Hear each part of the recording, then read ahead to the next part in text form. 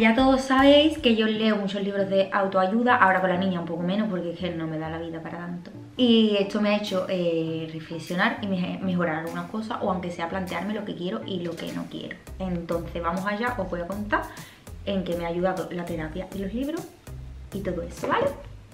¿Crees que gestiona las emociones mejor que antes? Después de varias infidelidades en mi vida, Creo en las segundas oportunidades, tengo varias dudas.